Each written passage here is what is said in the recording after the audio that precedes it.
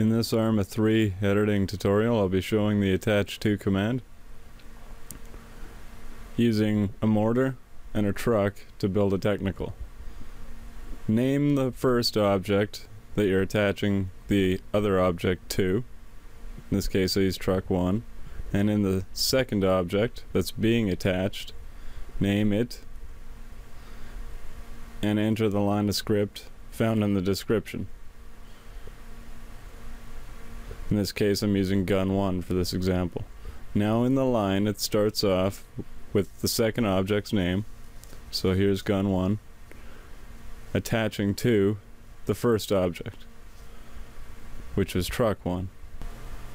After the primary object, there's a string of three numbers. The first being horizontal movement in relation to the front of the object, the second being vertical, and the third being height.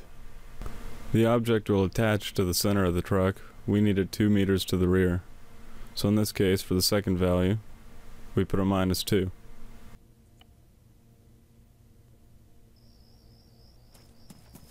As you can see, the mortar is 2 meters into the rear of the vehicle, right in the bed of the truck where we want it.